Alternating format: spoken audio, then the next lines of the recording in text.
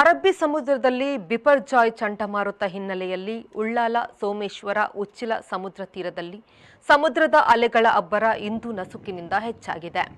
ಜಿಲ್ಲಾಡಳಿತದ ಆದೇಶದಂತೆ ಉಳ್ಳಾಲ ಸೋಮೇಶ್ವರ ಸಮುದ್ರ ತೀರದಲ್ಲಿ ಬರುವ ಪ್ರವಾಸಿಗರನ್ನು ಬಂದೋಬಸ್ತ್ನಲ್ಲಿರುವ ಹೋಂಗಾರ್ಡ್ಸ್ ವಾಪಸ್ಸು ಕಳುಹಿಸುತ್ತಿದ್ದಾರೆ.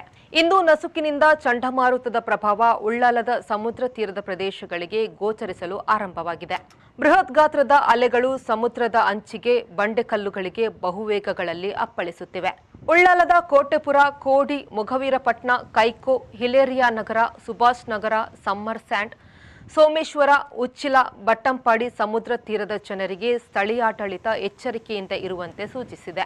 ಮುಂಜಾಗ್ರತಾ ಕ್ರಮವಾಗಿ ಸ್ಥಳೀಯ ಠಾಣಾ ಪೊಲೀಸರು ಹೋಂಗಾರ್ಡ್ಸ್ಗಳನ್ನು ಸ್ಥಳದಲ್ಲಿ ನಿಯೋಜಿಸಲಾಗಿದೆ. ಸಮುದ್ರ ತೀರಕ್ಕೆ ಬರುವ ಪ್ರವಾಸಿಗರನ್ನು ವಾಪಸ್ ಕಳುಹಿಸಲಾಗುತ್ತಿದೆ.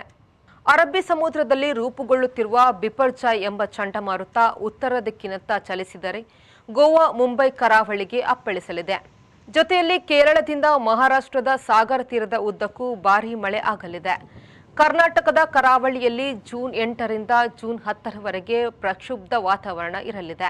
ಚಂಡಮಾರುತಕ್ಕೆ ಬಿಪರ್ಜ ಎಂಬ ಹೆಸರನ್ನು ಬಾಂಗ್ಲಾದೇಶ ಸೂಚಿಸಿದೆ ಎಂದು ಹವಾಮಾನ ಇಲಾಖೆ ವರದಿ ನೀಡಿತ್ತು. Arif V news Ullal.